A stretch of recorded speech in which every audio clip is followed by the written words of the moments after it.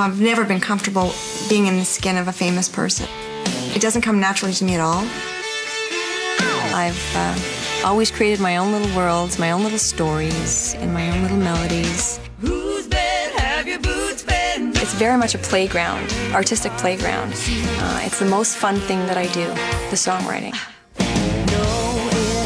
My dream, actually, uh, from a very young child, was never to be a star. I was never comfortable with being the center of attention, ever. It still is not me at all. She has taken country music to a whole different level. When it's your own music, it's everything. She has worked so hard. I am who I am. She has done so much. I will always do music with the same enthusiasm because it's my passion. Passion, passion. Yeah, my parents played a key, key role uh, in the development of uh, my career because as an eight year old, you don't really have a concept of what a career is. And I was really a closet songwriter for a long time until my mother forced me to play her my music. How old were you when you started singing? When I started singing in class, how old are you? Eight. Eight, your age. I was your age. Yes. I grew up in smoky bars and drunk fans, not fans, but they weren't fans, I didn't have any fans, but like drunk audiences and bar fights, um, you know, and lugging around a guitar that was bigger than I was. Because I was underage, I wasn't legally permitted to perform or even be in there um, while the bar was open. So I would have to go um, when the bar closed at midnight, and then I would play with the band afterwards. I didn't grow up to squeaky in a squeaky clean environment. So it was kind of a I had a lot of mixed feelings growing up, trying to juggle childhood and career at the same time. But it all passed by very quickly and prepared me for the career that I'm pursuing now. My performance style and communication hasn't changed from since I was a teenager, since I put my guitar down. I started uh, singing without my guitar and really getting out around the stage and interacting with the fans in clubs, of course. Getting up on stage every night is the highlight of my career every single night. It's what I live for. So to get out on stage every night and party with the fans is what I live for right now, I tell you that much.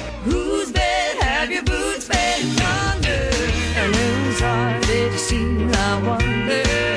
This time did it feel like thunder, baby? And who did you run to?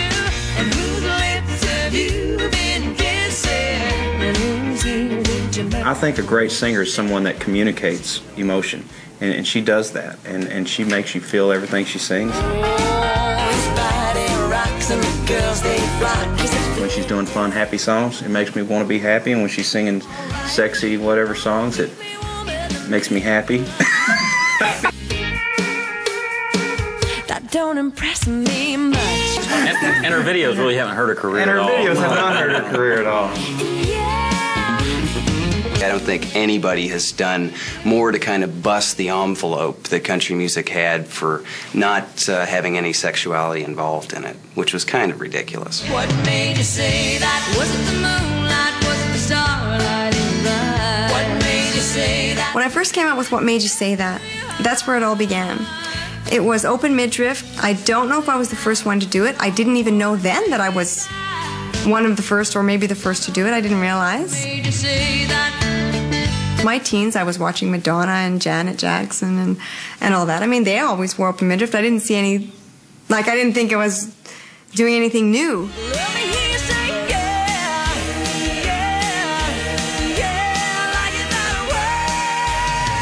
But it was new for Nashville, and I didn't realize that. Come on, everybody. One, two, three, Nashville's reaction. I think it was an overreaction. I think so. It's just a woman's body. I mean, it's, Have you, they've never seen Molly never Cruz seen a Girls, belly? Girls, Girls video. Or, yeah. And the belly button? She, Let's face it, she has a nice navel. it's a nice looking navel. And uh, frankly, I'm all for it. There's no words. There is no words. Just look at her. I could be her for a day. Just to feel that body for a day in my own right, you know, come standing in her body would be really great. In the beginning, she intimidated me, and I, I wouldn't even talk to her. I hope she didn't think I was being rude. I just was afraid of her. First time you saw the belly button, what did you think? Um, everyone has one.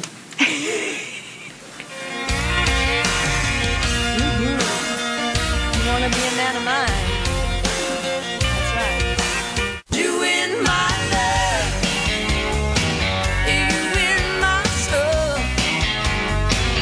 Grew up listening to various artists uh, as a child. I think the biggest influences for me musically were the Carpenters and uh, Gladys Knight, Dolly Parton. She's just done everything and does everything very well. A- excellent songwriter, performer, personality. She just knows how to be a star. She's just very great, you know. She's got a great voice.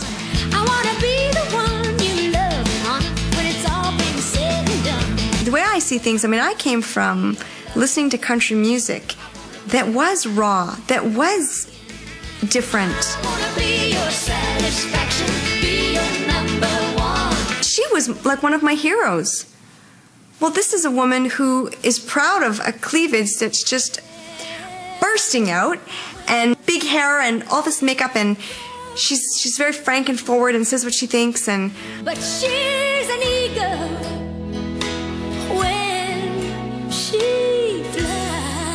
So I was really surprised when I went to Nashville and that was not the deal at all. That they were gone. Those people are gone now. Dolly Parton's gone now. Willie Nelson's gone now. We're into like this really clean cut image now. What's that? That that's that's some new image that's been created for Nashville. That's not the country I know. That's not the country I grew up with. Don't get me wrong, yeah, I think you're alright. She stood her ground on on, um, on a lot of different music that she wanted to do, and so I think that's that's who she is. You know, she's a very strong woman. I? I came there with such an open mind, and I came from such an open mind musically that I, I don't think I really fit in. You're not in for love. I'm out of here. Compromising is a sad story uh, with what we do artistically. And I don't wish that on anyone. And it's sad when I do see artists compromising. So I did. I went along with it, and I made my first record that way, and it didn't really work that well.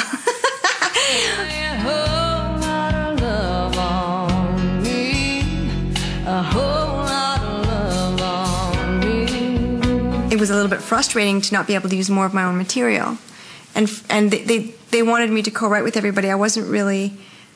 They didn't really accept my material, the way it was and everything. You know, just I'm not really sure why, to be honest with you. I get so aggravated. I've never really felt the necessity to differentiate from one genre to the next. Um, so I love all kinds of music. I used to sing Def Leppard songs for crying out loud. I mean, it's like I was never going to be serious about singing Def Leppard songs. I was never going to. I was never going to make a career of that, and I was never going to make a career out of singing in the rain. Right? It pleases me a great deal to be able to access all the different fans. I think it's it's wonderful for me. This was always going to be my career. Country was always my base, with the influence of everything else. Don't be stupid. You know I love you. And I never really stayed around Nashville long enough to really get to know the system that well. But I did learn that I think there, there's just a way of doing things there. There was at the time. And so you just have to kind of go with the flow and go with the pattern. And I just didn't know how to do that very well. There's always that tug of war of, you know, is it too much this? Is it too much that? Is it this? Is it that? What is it exactly? And I like that about music. I, I, I think that labels are unnecessary. I think being from Canada and growing up with the country music that I grew up in in Ontario affected the way I see country music. To us, when I was a kid, country music included John Denver, uh, Anne Murray, a lot of folk artists. Um, even the Nitty Gritty Dirt Band is something that we would have considered country in a way. Uh, so I went, I think, to the States with a different idea of what country music was. And I've just stuck with that. I am who I am, and I do my own thing. And so I don't know how long it would have lasted there had Mutt not come along. I don't know. I would think I would have gotten discouraged fairly quickly. We really are very compatible creatively. And, and also, you have to understand, too, because we co write this stuff together, we've worked out so many of the bugs already before we even get to the studio. And I don't cross the production line at all. You know, and he's very open to my ideas and my suggestions and what I like and what I don't like.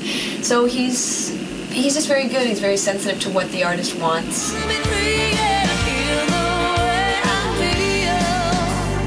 Man, I feel like a woman. I think part of the, the improvement with my songwriting is that I have more confidence now. He's given me more confidence. He actually um, respects and really loves the ideas that I come up with. So it really encourages me to, to work harder at it. I was in heaven with Mutt. I had somebody who was interested in my songwriting, who thought my ideas were creative, somebody who uh, loved my vocal style and just loved to sit there and listen to me sing.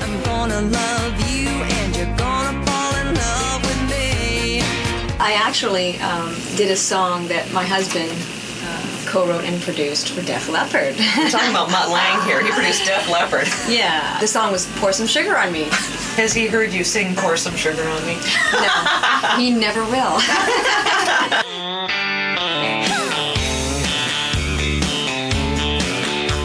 There is such a Shania style that's so evident. And everyone knows what Mutt's style is. You can hear that. It's clear. It's there.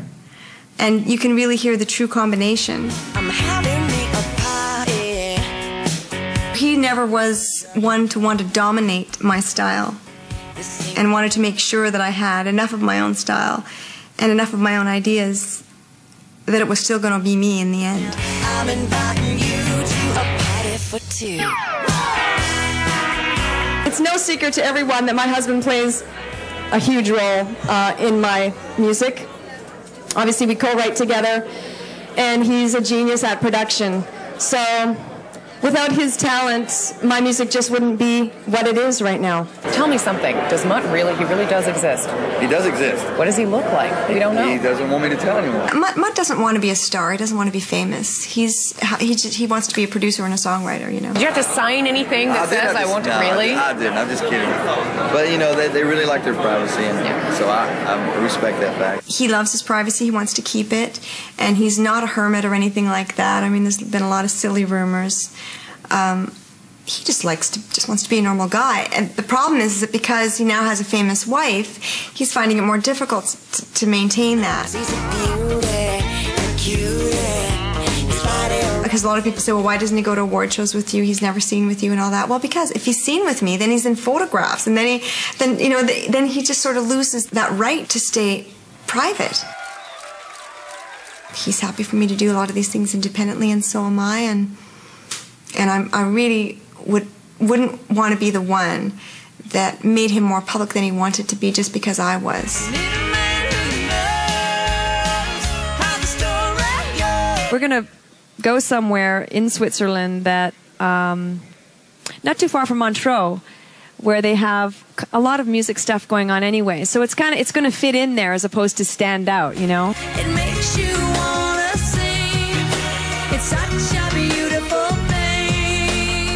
So it all boils down to where do we want to spend the rest of our lives making music, and where can we? The happiness it brings.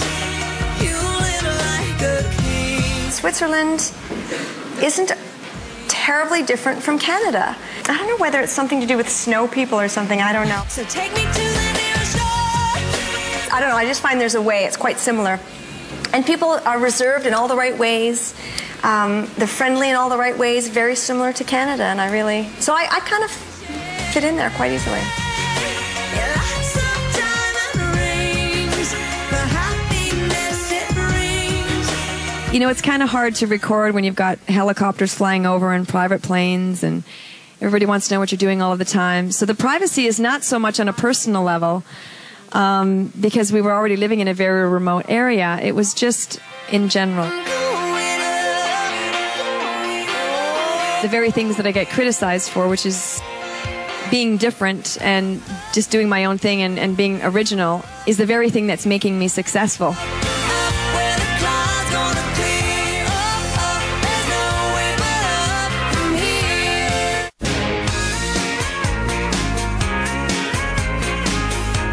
There are days when I realize, wow, something's happening here. Yeah, something's really happening, right?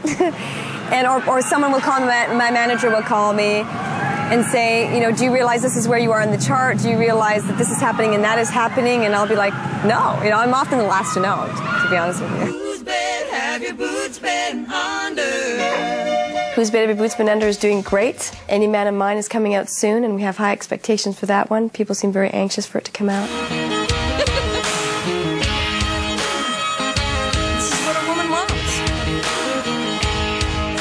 Myself as a woman, I, I enjoy singing it. I, I love the lyrics, they're fun. Um, poking a little bit of fun at, at men. Well, any man of mine better disagree when I see another woman's looking better than me. And when I cook 'em dinner and I burn it, like you better say, mmm, I like it like that, yeah. I like to do that. I like to laugh. I like to have fun, and, and I'm, I'm expressing that in the music, and hopefully everybody else gets the same vibe from it.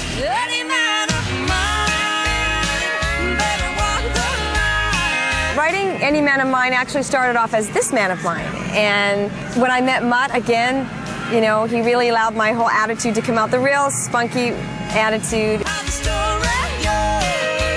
And so the song turned into that, an attitude type of song, because the lyric used to be Any Man of Mine is a walking, talking angel. He's always on time. He's never, you know, all this, he's all these wonderful things. Any Man of Mine was absolutely a turning point in my career, there's no doubt about it. Uh, the song itself, the video, the whole thing.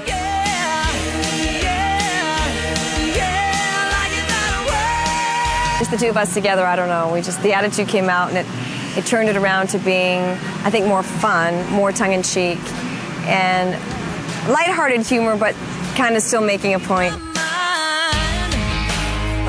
A million times. With Any Man of Mine, he's introduced a real punch, you know, the drums, the muscle of the song, you know. Any man of mine. And then lyrically, the attitude is straight out of my mouth, you know. Teasing, squeezing, blazing kind of time. It shows the rocky edge that I have. It shows the country roots that I have. Uh, it's a very freestyle video. There's no fixed choreography. Well, any man of mine better disagree when I see. The horse was trained on the spot to grab that towel, to, to, to grab that towel for me. If I change my mind a million times. And I couldn't believe it. Ramon is such an amazing trainer. He, I mean, of course, why would you ever teach a horse to grab a towel, right? So this was like a five minute training session that he had with his horse.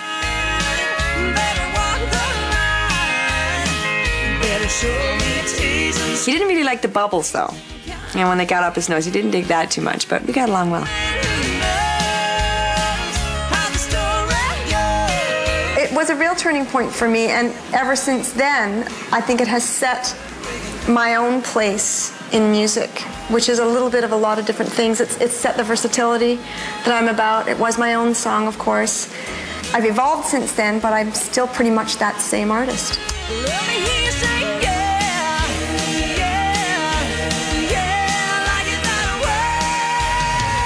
To have a song be as big of a, of a hit as Any Man of Mine internationally, number one, as a songwriter, it's most gratifying as a songwriter, more so than it even is as an artist. It is overwhelming at times. I mean, you can't ever really be prepared, right? But I'm very comfortable with it. It's where I want to be. I knew I wanted to be here. And I'm here, and it feels terrific. I know a few artists uh, in the industry who've had the opportunity to become international artists, truly international artists. I'm really at the very beginning of that. Some songwriters only have one hit in their entire career, you know. And this is my second one off the CD. Just hearing their experiences, it makes me very intrigued. So I hope that someday I get to go to really all the countries that I can possibly go to. You better say, I like it like that, yeah. There was a time when, you know, is this a one hit artist, you know, all this type of thing. Uh, is this are these sales skyrocketing off one song? You know all that kind of stuff. And now we're five hits into the album, and over that hump. I mean, I feel terrific. Yeah, the woman in me needs a man in you. The Woman in Me was the first song that Mutt and I wrote together. It was the first one that we started from scratch together. Uh, many of the other songs on the CD were songs that I had already had choruses to, or hook titles, or concepts, or something. It's a beautiful place when you kiss my face. That song really tells my story, the way I really feel as a woman. You have to be strong and um, live up to all the demands that are happening in your life these days. All women, I think, today. Not always. It's, it's tough, but at the same time, how do we keep in touch with the feminine side? How do we still allow men to open our doors and and allow the romance into our life when we're so used to having to do it ourselves and it's, you know? So you kind of have to find a balance and that's what, that's what this song is all about and it, i think it expresses it perfectly for me. Yeah, the woman in me needs a man in you.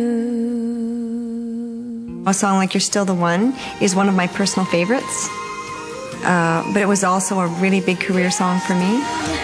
You're still the one I run to, the one that I belong to.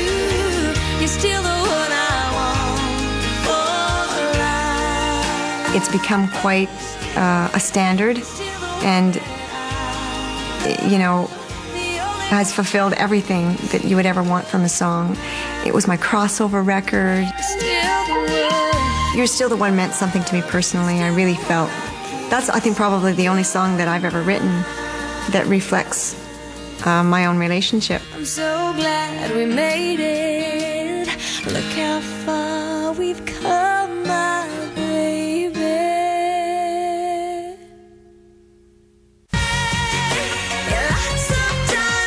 lot of things that i find very satisfying. One is just getting out there and singing. As a matter of fact when we have a day in between shows it's a bit of a drag for me vocally mean I really like to be vocally in shape. A lot of the pressure has been gone since I've been able to get up on stage every night and for two hours just sing and be with the fans. I, I don't like being separated from the audience, so I really enjoy uh, the communication that I have going, and I I couldn't see a show without that. Of course, in concert, I get to meet people, um, and there are I mean there are so many people to meet: children, a lot of handicapped people, terminally ill people, and I get to see this side of of my relationships that I have indirectly with people through my music. I have a lot of kids at my concerts, an unbelievable amount. I mean, I don't know what other artists have at their concerts, but you would not believe the kids at these shows. Two and three year old kids, and they know all the words, and it blows my mind. And I bring them up on stage.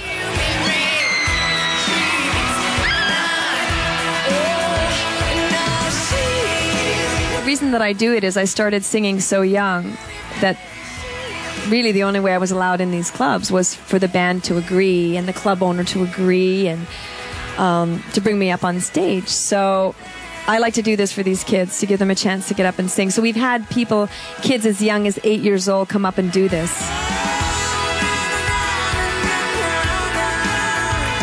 Made sure that I started off with the show that I was happy with and that I was confident with. Music is music, yeah, but when it's your own music, it's everything. So it's really great. The fans come there, they're coming there to hear your music, your songs, and uh, it, it's magic. And this is part of the reason why I waited so long to tour, because I didn't want to do covers. I wanted, I wanted the audience to be there for the same reason I was there, for my music.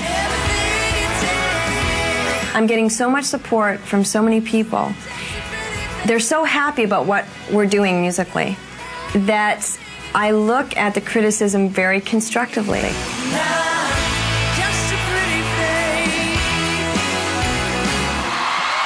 However, people want to criticize it, uh, it, it, it it's not going to affect what I'm doing. Let's go. Something I think we can all expect uh, as artists. You're always going to get the pressure. I think if we didn't have the pressure, and the challenges, uh, we'd have no reason to be better. So, if anything, it's healthy. Part of learning about humility is learning to also just accept all your faults and flaws, and it's okay to have all those things because people are very quick to point them out when you start to become successful. And if you don't force yourself to be humble about yourself anyway, you're going to take them too personally.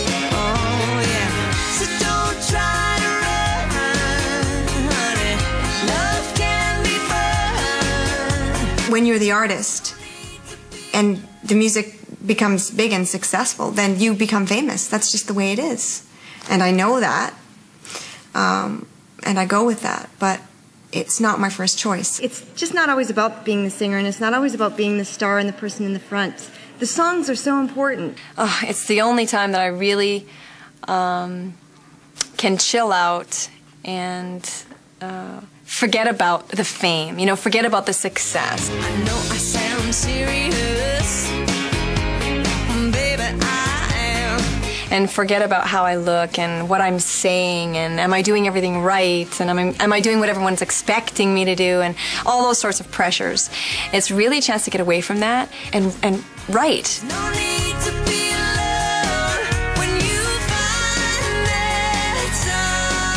If I could be as successful just being the songwriter, I would do that, I think, you know. Gonna get you if it takes all night. It's at that time that you can actually experiment and enjoy what you're doing without the, the pressure of any kind of judgment or any kind of expectations at all because you haven't released it yet to anybody. You haven't sent it out for feedback. And you're sort of free of any kind of criticism or any kind of judgment at that time. So it's the only real free time you have as an artist. I'll get you good. And then, of course, once it's out, it's out, and it's too late, and you just better keep your fingers crossed.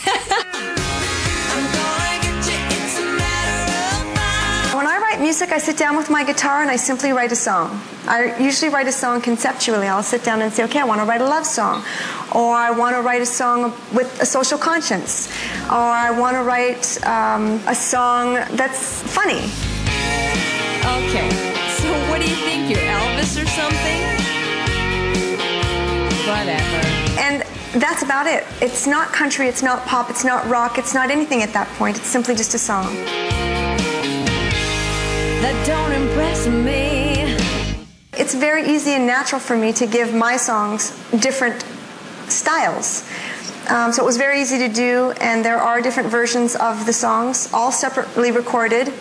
So the country version, um, which I call the green version, is uh, recorded with um, some of my favorite country instruments, which is the banjo primarily, because I love that instrument. Lot of mandolin, fiddles, which, you know, I have three fiddlers in my band, so I've got to have fiddles. I love that for my concert stuff.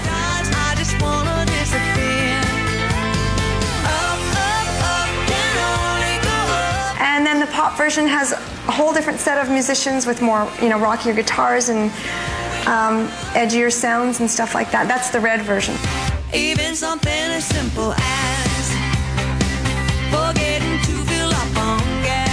I do enjoy writing music for other singers, and I hope to do a lot more of that in the future.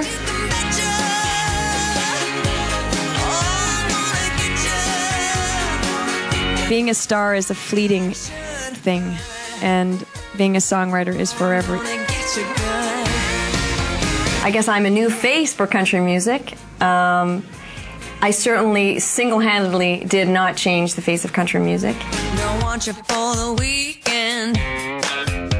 A lot of new artists, men and women, are contributing in a big way. I mean, Tim McGraw, uh, as a guy, obviously has brought in a, a lot of fans that I think wouldn't have necessarily listened to country music. Reba McEntire, you know, still holds such a huge fan base for all of us. Obviously, Garth Brooks has done the same thing. You're a fine piece of real estate, and I'm gonna get me some land. It's nice that people say that that you know that I'm up there with Garth. And I mean, uh, you know, when you look at uh, the charts and the sales, yes, I guess I am. Um, but you're talking about a man who has brought country to a level that it had never seen before. Uh, if anything, he's opened a lot of doors for people like me to just waltz right in and, and, and do my thing.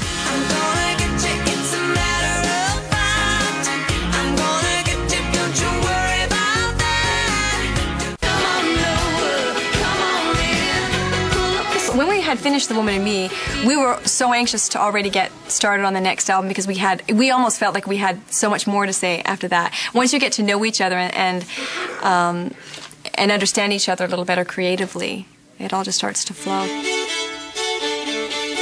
This next album is uh, an improvement, in my opinion, of what, as a songwriter, and hopefully it will be an improvement in everybody else's eyes. But just personally, as a songwriter, I feel that um, I've given more to this album. I think I've, I've been allowed to be a little bit more creative on this next album.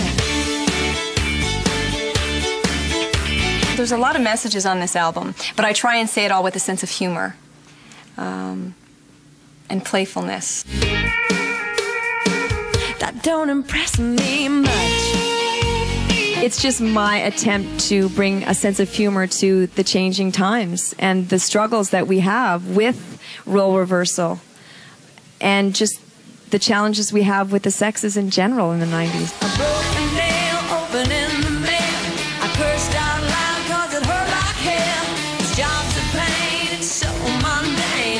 Time where I mean you can you can pretty much do anything creatively now. You can wear anything, you can say anything, you can pretty much do anything and get away with it. Well, you think it's something special.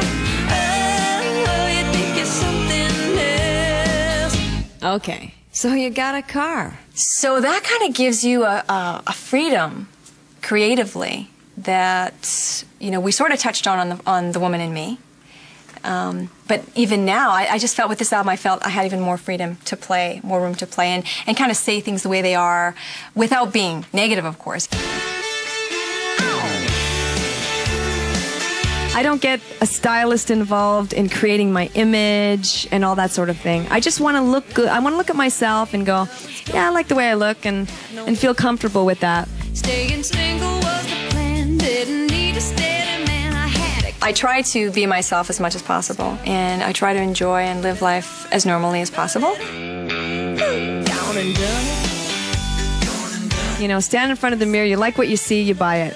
And that's that's really it. It's not any more complicated or there is no more time spent on it than that. So I just go with the flow.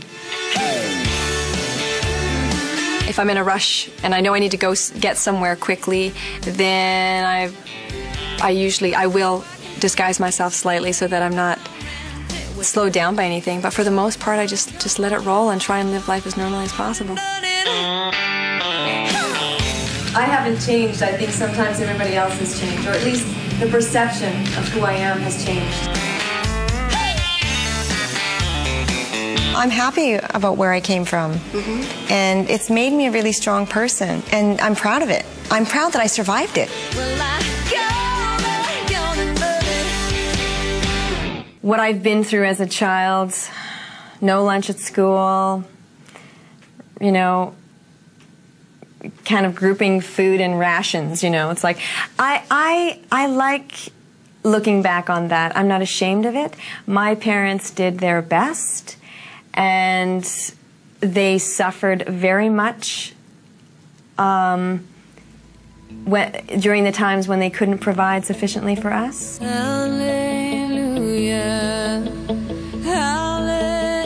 God Bless the Child is, is a song that's very close to my heart. Uh, I wrote it uh, truly with deep, deep feelings after my parents died. It's the closest to my heart that I think any song has ever been, as far as a song of my own. Bless the young without mother. If you've never lost anybody close to you, never mind two people at the same time, um, you're just in a state of shock and uh, I mean, Takes the bullet in his back. you're delirious, pretty much. I think I, I could say that I was quite delirious um, for the first at least 24 hours.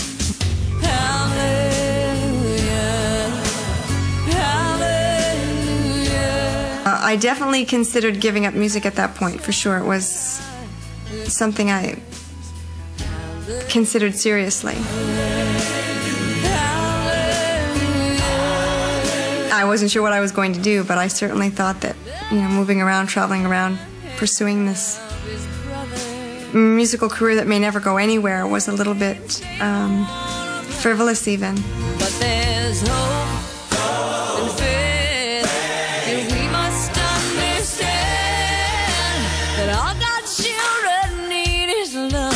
Us to hold their little hands. Ever since my parents died, are you kidding? It's like, what else could you want except a, your family alive and well? What, what more do you want than that? You realize very quickly that there is nothing else in life. It's all superficial. It's all, the Cinderella stuff's all superficial. If it gets taken away from me, I already know what it's like to not be able to eat, and I already know how to ration my food if I have to. God the child who suffers. having a child was just something that fell in naturally and it you know it's not like you know fame and stardom and all of that stuff happened all at once and then all of a sudden I had a child it's all happened very very gradually over a very long period of time When I was in my 20s, I was like, I was just so focused. And that would have been such a huge distraction. Whereas now, I'm naturally, I'm just, I'm just more mature. I'm capable of, you know, balancing more. You know, you grow hands as you get older. But I can't always be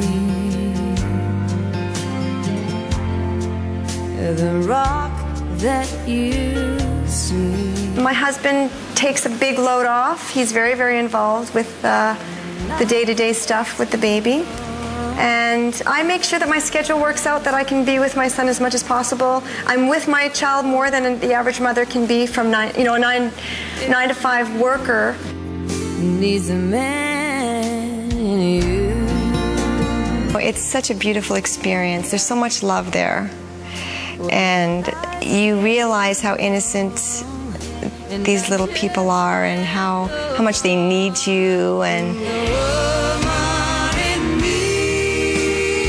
he says the cutest things like he'll say um, you're my little mummy. You know because because the way we talk to, to kids you're my little boy you're my little boy you know? You're my little boy and you're my little mummy. But i think that's really cute. You're my little mummy. That is just so cute Does Mutt change diapers? I've just got to ask. Did he change diapers? Of course. Really? I we got a would good not man. marry a man that would not change diapers. Good girl. And the 1999 Entertainer of the Year is. When I got up there and I announced all the nominees, I thought, well, it's probably going to be the same as it has been for the last 13 years. I was the last female to win in 86. Come on up, Shania Twain. And when I opened the card and it said Shania, I, I was just overwhelmed. I was so glad that a female was winning again. Wow. Thank you. Wow. I'm embarrassed. She has worked so hard. She has done so much for country music, for the women in country music. I'm, I'm honored mostly because I'm here with so many talented people.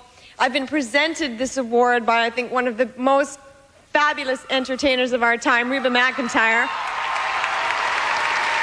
And I always set myself up psychologically not to win anything in any awards night because the main thing for me when I come is to do a good job with my performance. So I try to focus on that and not focus on winning. I have to meet Dolly Parton tonight after the show. She is my absolute most huge, biggest inspiration of all time, and she can't leave the building until I at least meet her. It does start with the songs, it starts with the creative.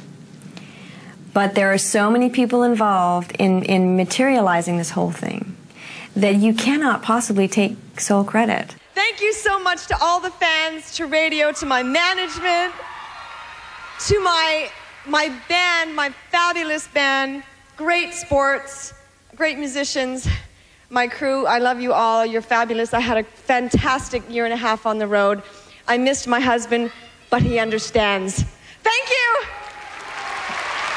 It just puts a little bit of an extra shine on what's happening in your life. So of course it's wonderful. And it's always welcome, and it's a great feeling to win, to be a winner.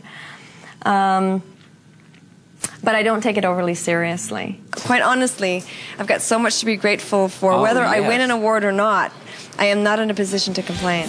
This moment on. And all I ever intended on doing in my life was to be able to make a living at what I do. All, everything that I've achieved since then, obviously, is, is above and beyond. I will always do music with the same enthusiasm because it's my passion. I love it. It's about as bad as it could be. Seems everybody's bugging me. Whether I do it with an audience or not, that I don't know. And whether I'll still be making records in 20 years from now, that I don't know. Even my skin is acting weird. She's added a breath of, of life, a breath of fresh air into everything.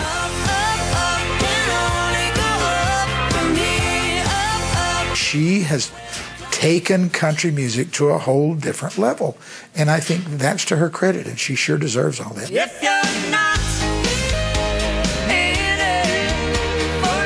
She's brought a lot, I think, to our format, whether she's crossed over or not. Who cares? She's just brought more listeners. Everybody thinks country's cool because Shania Twain's country. She has expanded country music. She has uh, made people who weren't aware of country music start to listen to it. She was fresh, she was different, she was unlike anybody else out there. She was brave, she was courageous, she believed in herself.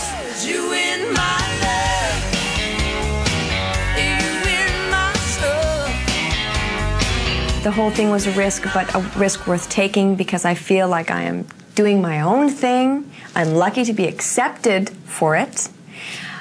Obviously, the fans have done that for me. She's different, she's beautiful, and she's added a great spark that we've all needed in country music.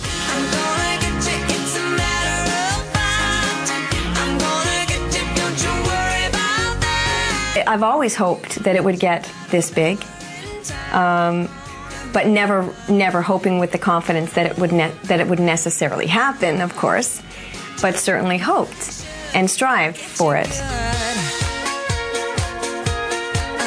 I, I don't. I don't feel like, like I have any time crunch or timelines to to follow. I don't feel like I have a style I need to follow specifically. Maybe I'll even get more creative now. I think it's opened up some things for me and has released me in, a, in, in some sort of strange way creatively.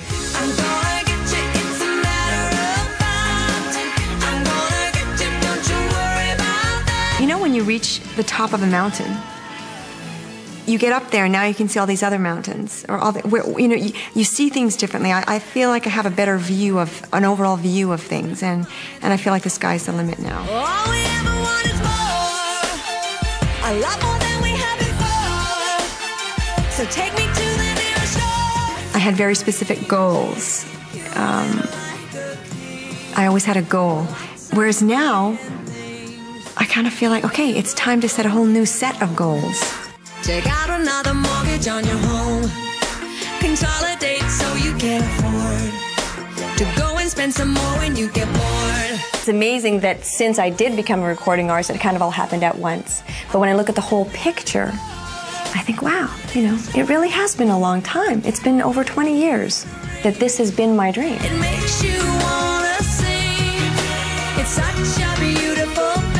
It's almost like nothing happened and then everything happened, you know. So that's where all the, the surprise comes in. i'm one of these people that now can say i, I uh, make a living at something that i love to do which is make music